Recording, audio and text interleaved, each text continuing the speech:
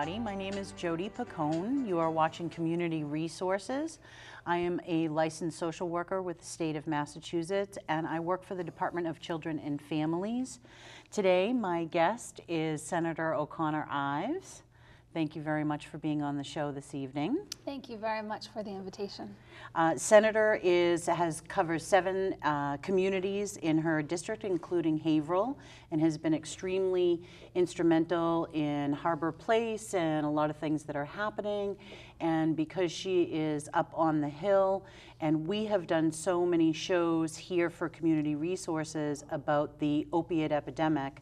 I felt that it was really important to have her on our show because there's been a lot of legislative change happening up on the Hill. I think that you folks are extremely dedicated to coming at this opiate epidemic in a very different way than maybe some other communities are, and I truly and greatly appreciate that and wanted to really bring that to Haverhill so that they understand what our legislation is doing for us. Sure. Um, so we'll just go right into it. Uh, one of the most important things that Governor Baker has recently passed, um, I think that there's, we use acronyms a lot. We've talked about this on the show before. You know, we might know what they mean. Um, I think this is referred to as STEP, which mm -hmm. is uh, Substance Use Treatment Education Prevention. And um, that legislation just came into effect, which really folks at home should know this is the first piece of legislation in the US that has kind of come out like this. So really applauding the Hill and the governor and you guys as legislators to pass this. So when I talk to the audience about what that is, if you could give us a little bit of an explanation about what this really means about limiting prescriptions and that sure. type of stuff. I'd be happy to. And the legislature in this session passed this bill, which is largely focused on addiction prevention and improved prescribing habits. Mm -hmm. The previous bill that we did was really focused on expanding treatment options yeah. because we know that there are far too many instances where someone might be seeking a bed and there's no bed available, or they get into a quagmire of insurance coverage, not getting the coverage they need to access a detox program. Right. So that prior bill came into effect this past October. And on the heels of that, the House of Representatives and the Senate knew that there needed to be a second bill to focus on the reality, the, the stark reality, which is that very often serious addiction and often death is at the starting point with a legal prescription drug right. or the misuse of a legally prescribed drug. Yeah. So Representative uh, Brian Dempsey in the House, uh, Representative Linda Dean Campbell, Representative Diana DiZoglio, uh, we all we all represent Haverhill and you know, it's really important for the public to appreciate that you, you need three pieces to pass any bill, or else it's just a piece of paper. Mm -hmm. It needs to pass the House, it yep. needs to pass the Senate, yep. and the governor needs to sign, sign it. And for this issue of opioid abuse, all three steps have happened with both pieces of legislation. And like you were saying, this most recent bill is so critical because what we're finding is that America is a huge outlier with its access to narcotics. Yeah. And what happens is, is that people are either not getting the information they need when they begin it, or it's getting into the wrong hands. So this bill does a couple of important things. Notably, for the initial prescription, it's only a seven day supply with that written prescription. Mm -hmm. And that struck a balance between not wanting to create an addicting environment, but also providing enough in that initial prescription to meet that patient's needs. Right, because tr people truly do need some of this medication, mm -hmm. but for how long do you need it? And this way here, this gives much more control to the prescriber and much more flexibility, or I should say, lack of flexibility for somebody that's going to misuse a medication. It's really interesting because there was so much debate from both the medical field, mm. uh, first responders, so many people that have had hands-on experience with this problem. Mm -hmm. So seven days for that initial prescription, but at the same time, when someone receives that prescription, they can actually say that I want to partially fill it for ongoing prescriptions because as you know in the past someone might receive a prescription for 30 pills or 50 pills Yep. and they don't know what the standard course of the medication is but because of this legislation you can now say when you go to the pharmacy even though this was written for 30 pills I would like 15 and I know that my next prescription has to be handwritten again but I'd rather have just the 15 and go back instead of just taking all 30 or just taking 15 and having the 15 extra ones unused lying around to either be stolen or improperly disposed of. Well, I, I think that that's such an important piece for the audience to really hear and focus on too, because not only is the individual that's being prescribed medication possibly not understanding or misusing a medication, but I think that one of the things that I've seen working with the Department of Children and Families and working much more focused with children is that we've got children and adolescents as young as 12 years old uh, taking those additional remaining leftover medications sitting in a grandparent's medicine cabinet, their own family's medicine cabinet, or their own medications, and even if they might not be misusing them themselves, selling them. So there's a whole element in so many different areas in regards to use, distribution, sale, that to me this is just wonderful. So that is a great piece of, you know, th- uh, they thoughtfully had those conversations with all of those providers and the community. So this was not just legislation saying, hey, we think this is a good thing to do. So that, that is just remarkable, remarkable. It's important because we all know that that's a critical point of contact between Yeah. the patient and the provider in terms of what is the right fit. And there's a provision I advocated for that would require the provider at the point of prescribing it to articulate, to tell the patient what the risks are Yeah. of that drug being consumed. Because sometimes the patient might not fully be aware that there's a spectrum of pain. And maybe you need that medication for before you go to bed, but maybe you only need Tylenol during the day. Yeah. And to be empowered with the information that you need to know, okay, when is that window where I could actually become addicted? Is it five days? Is it 10 days? Yeah. Right? Yep. So to create that urgency, the dialogue needs to happen right there because Mm-hmm. after the person's addicted, it's a lot harder to undo. That's right, that's right. And um, you know what else I should mention on that whole category of um, prescribing? I know that you were interested in terms of uh, the real directives for reducing the access to opioids. Yes. I think it's important to also mention that there's new provisions in here for the prescription drug monitoring program mm-hmm. because the mm-hmm. state has it, but now this requires prescribers to check that database if they have any concerns because it has that person's whole prescription history. Mm-hmm. I know that you were concerned about the issue of doctor shopping and things like that. Absolutely, because in, in my line of work in social work, this is something that we truly do see, whether it is someone going to a dentist and then going to a chiropractor and then going to a primary care and then going to a mental health specialist. So, you know, this could be a let's say a parent that I'm working with through the department on my caseload, and what we see is that shopping. And we don't necessarily know that right up front. So it's a lot harder to kind of get at those pieces to truly understand hey, this is not a person that kind of had a one time episode. This truly is a prolonged addiction and a pattern of addiction. And we can see that through some of this doctor shopping. And I know that some states don't have this registry and don't have this system. So for folks to know that Massachusetts does have this prescription registry um, is, is really a good thing for Massachusetts. Um, and now that they're mandated to utilize that is is wonderful, wonderful. Great piece to add add to the legislation. There's also a piece in regards to Narcan, I think, in there, correct? So there was another related issue about how first responders were hitting a wall because often Narcan was only accessible through grant programs where mm-hmm. police departments or fire departments would apply for these grants. Mm-hmm. And they shouldn't have to compete against each other for access. And the other unfortunate thing that was happening is that the price was escalating just for them to access the drug. Yep. So the legislature put in last year's budget funding for a bulk purchasing program so that municipalities could purchase this Narcan through the Department of Public Health. And that has two important benefits. One, the department can better track the application of the Narcan Right. for, for data collecting to figure out how much is being used, how many lives are being saved, and things of that nature. But the actual costs were really shocking in terms of um, the actual doses.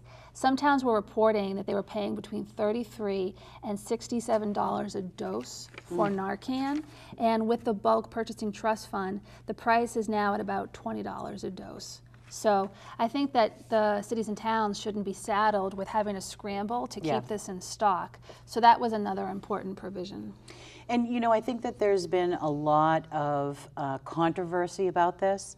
I've heard dialogue from both sides in regards to um, people thinking that it's going to make it easier for an addict to say, well, it's okay if I overdose because somebody's going to have Narcan. But I really want to stress to our audience if this is your child that is in front of you in your home overdosing, if this is your spouse, if this is your family member or your friend, you are going to want Narcan. Mm-hmm. So people may hold a position or an opinion about it, but I really want to stress to folks that this is a life saving medication that is administered currently, you know, this form of Narcan is administered through a nasal spray. It is not dangerous to children. It is not an addictive substance. So this is very different than some other things I think that we've had in the past. Um, people relate it to Suboxone, methadone, you know, those types of things. And Narcan really is meant to be a life-saving medication.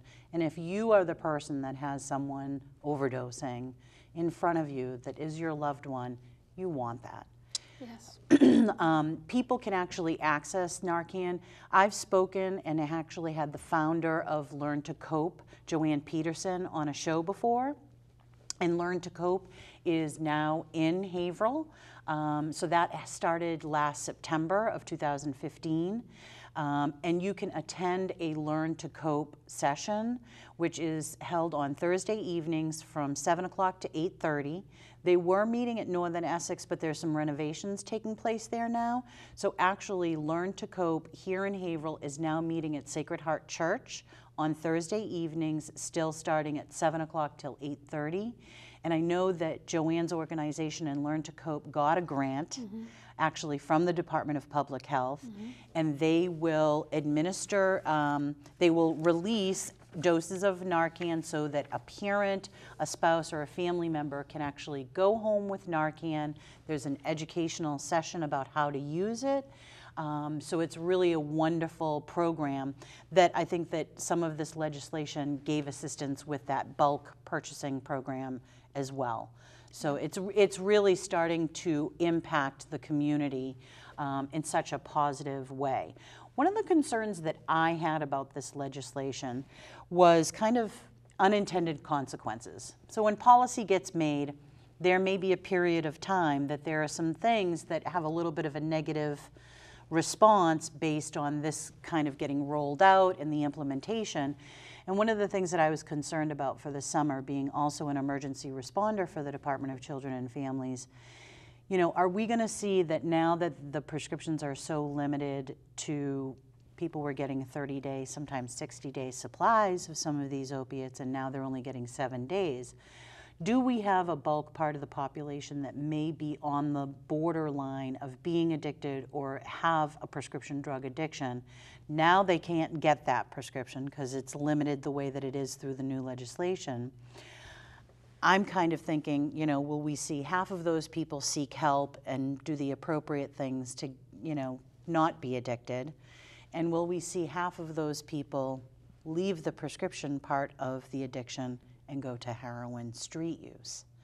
So that's a huge concern that I've kind of had. And I didn't know if legislators had any of that conversation or. Yeah, I think, I think what's important to distinguish is that the bill says that initial prescription is seven days, and that is prior to when someone might become addicted. It's Yeah. not as extended to already have an addicting situation. Mm-hmm. So then it requires that patient to go back to the prescriber or the provider to get a second prescription. They have to go back in person and have that. physically get They a do. paper prescription. No more calling it into the pharmacy, no more the doctor faxing it over to the pharmacy. Um, I, I think that's great. So when they get that second prescription, that's based on a conversation they've had with the nurse or the doctor. Yeah. And that prescription is not going to be for a seven day limit if the provider feels like it's merited. It could be for two weeks, it could be for a month. If somebody's had a surgical procedure, somebody's had um, a serious condition, then it's going to be validated. They're going to get the prescription that they need. I think that what this does is it increases the accountability for the prescriber and that patient doctor interaction. So if there's a situation where it's bona fide, merited pain management, that can happen. There's no there's no limit on that. There's no seven day limit after that initial prescription. They just Okay. have that incentive to go back in order to get that continued treatment. Yep. Okay. Um, there's also something that's written into the legislation in regards to our school systems, uh, which I'm thrilled about because the earlier we start, in my opinion, the better off we are. This is also about educating, preventing, and that Right. piece is in this legislation. It is. And um, a few communities in our area were already doing what's called um, SBIRT screenings. So it's not a drug screening where there's a urine analysis or a blood analysis or anything like that. It's literally a couple of questions where the school nurse or another skilled technician would interact with the students once a year. Um, communities like Northampton, um, North Andover, and our neck of the woods have already implemented this. And there would be oversight from the Department of Elementary and Secondary Education, where there are simply some basic prompting questions in terms of consumption of alcohol, tobacco, legal or illicit drugs Yep. to create that dialogue. Now, it doesn't mean that that young person is going to divulge everything under the sun Right. but it's a very important interface to see if there's an opportunity for intervention at these young ages where Mm-hmm. the statistics really show that addiction begins in the middle and high school levels Yeah. overwhelmingly. And if there isn't going to be that interface, then we're missing a huge window of opportunity to prevent a lot of destruction. Right, right. So there is great things happening in Massachusetts around these pieces. Um, another uh, really important legislative change that has taken place. I think I may have very briefly spoken about Section 35. When a family member, um, which actually there are a few different roles that a person plays in a person's life that they could actually request this Section 35. Um, and this is when we're seeing family members or loved ones that the addiction, they possibly may have already had an overdose and are at risk of overdosing again. We know that with addiction, there may be issues around mental health, they're at suicide risk, or the addiction has just gotten so bad that this person truly, every time that they are either using, uh, whether it be alcohol, prescription drugs, heroin, any of these aspects, are truly putting their life at risk.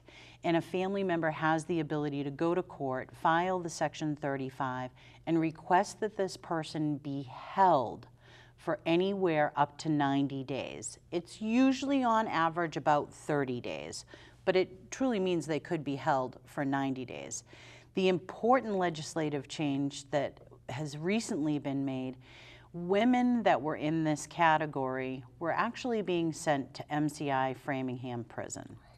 And that is so inappropriate. This is a person that needs treatment, and instead they're very criminalized and stigmatized and sent to Massachusetts only has one main facility as far as criminal facilities, you know, Department of Correction for Women is MCI.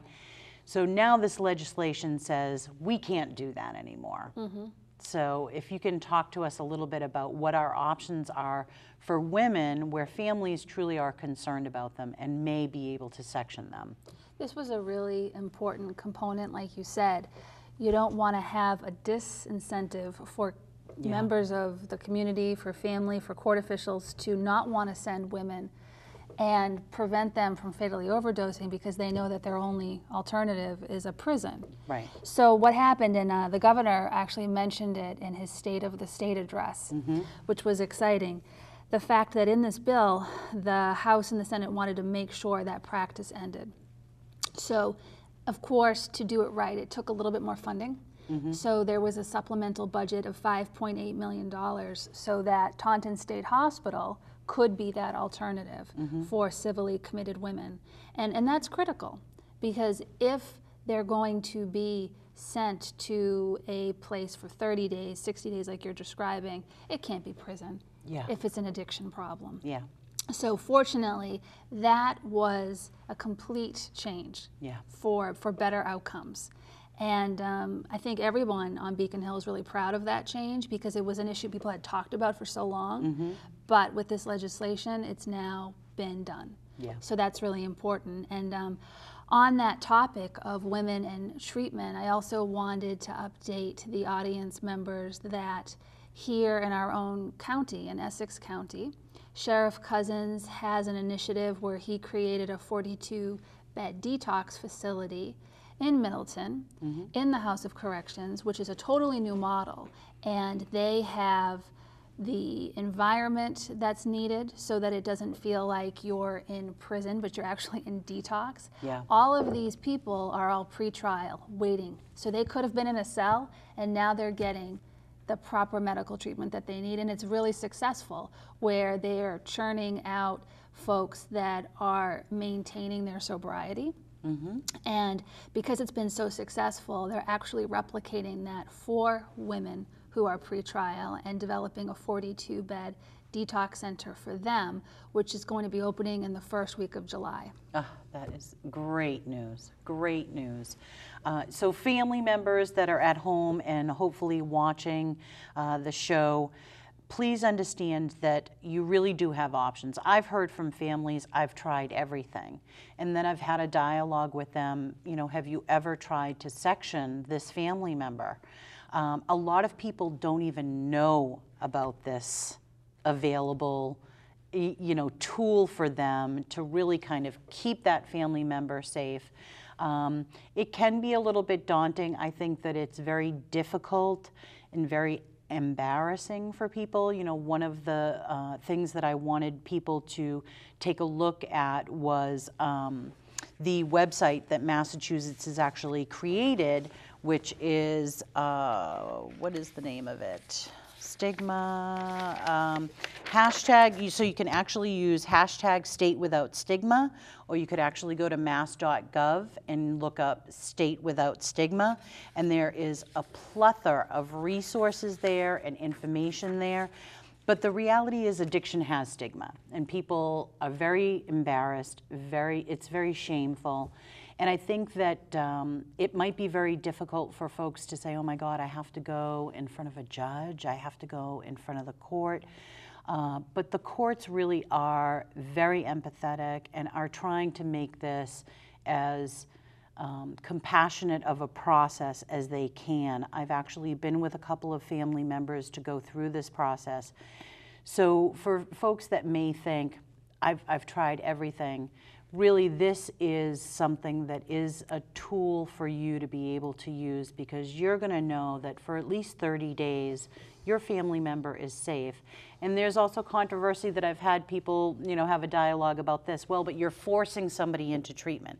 But when you're looking to save someone's life this is not just someone that is drinking six beers a day and you think that they're an alcoholic or you know something uh, you know of, of that type of nature this is addiction to the point that you know this person has either previously overdosed is at risk of overdosing again or their alcohol consumption or whatever choice of substance that they're consuming their life truly is at risk. That is what a Section 35 at your local district court is really all about. Um, so I really encourage folks at home to think about that. Um, and this, you know, f- to have you folks up on the hill noticing these issues and what pieces are blocking people from seeking help. Um, you know, kudos to everybody up there and our greatest appreciation for social workers that are doing this work and substance abuse treatment providers. Uh, this is crucial to what the community needs to start getting ahead of this epidemic.